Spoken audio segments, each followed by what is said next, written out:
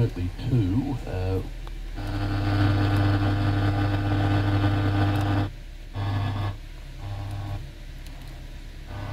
there's evidence that others involved with the broader Cranbrook family uh,